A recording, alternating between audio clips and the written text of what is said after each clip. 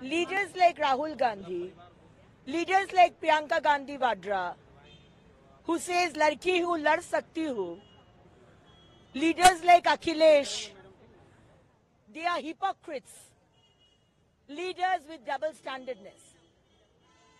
They have time to go to Hathras. They have time to, you know, fight with the police and go to Unnao. They have time to make theatrics and go to Manipur. But they don't have time to come to Bengal. Huh?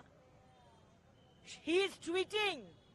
It is very shameful, very unfortunate. But Rahul Gandhi, you didn't have the courage to write Mamta Banerjee resign. You should have written that. So these people are hypocrites.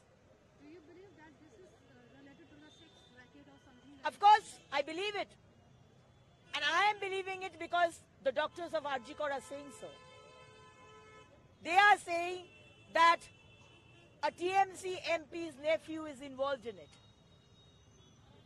There is sex racket, drug racket behind it. It's not just a case of murder or just not a case of rape.